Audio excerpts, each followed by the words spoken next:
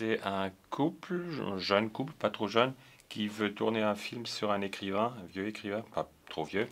Et euh, oui, c'est à peu près ça. Et puis il rencontre l'écrivain à Paris, il vit à Paris. Et après, ils veulent le rencontrer dans son village d'origine, en Suisse, et puis il n'arrive pas. Et c'est là où le livre commence et les problèmes. Il y a beaucoup d'écrivains et d'écrivaines qui écrivent maintenant des, des autofictions, et c'est un grand thème aussi chez nous. Et j'ai eu beaucoup de discussions avec tes collègues sur, sur euh, ce sujet. Je me suis aussi demandé est-ce que je devrais faire ça aussi? Et je suis plutôt critique, ça m'intéresse pas tellement, mais l'idée m'intéresse d'écrire l'autofiction. C'est quoi la fiction? C'est quoi l'auto dans l'autofiction? Et c'est pour ça peut-être que j'ai choisi d'écrire ce livre qui, qui n'est pas d'autofiction, même que l'auteur est plus ou moins mon âge, vient de mon village, a écrit mes livres. Mais ça ne m'a pas intéressé. ce qui m'intéresse, c'est qu'est-ce que nous, comment nous pouvons attraper un personnage. Est-ce que c'est plutôt par la fiction ou par, euh, par l'autobiographie? Et c'est ces thèmes qui m'ont intéressé.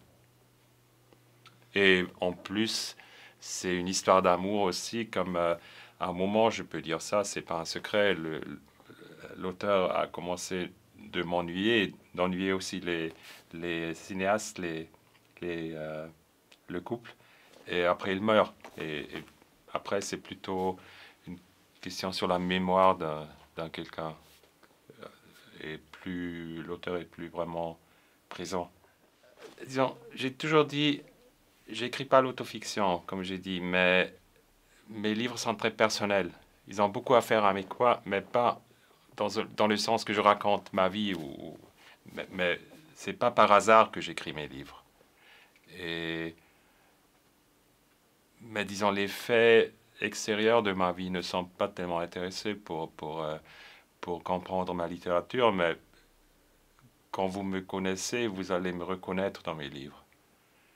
Et ça m'arrive souvent quand je rencontre euh, un auteur, une autrice que qui ne m'est pas sympathique, normalement, les livres, je ne les aime non plus. Alors, il y, a vraiment une relation forte entre, entre, la personnalité plutôt que la vie et les livres que quelqu'un écrit.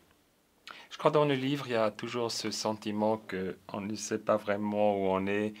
On est dans la fiction, dans la réalité, mais la réalité qui est aussi une fiction. Alors, c'est ce sens d'une euh, d'une incertitude peut-être qui est aussi dans, dans l'heure bleue où, la lumière disparaît.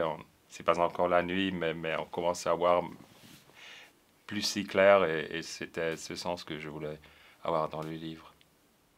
Je crois que le livre est aussi un, une histoire d'amour car euh, après la mort de l'écrivain, il y a deux femmes, c'était son amante et, et la jeune euh, cinéaste qui, qui deviennent amies et, qui qui ont une relation assez, assez spéciale. Alors c'est un triangle de femmes et un homme, mais l'homme est mort. Alors c'est un triangle d'amour qui, qui consiste d'un mort et de deux êtres vivants.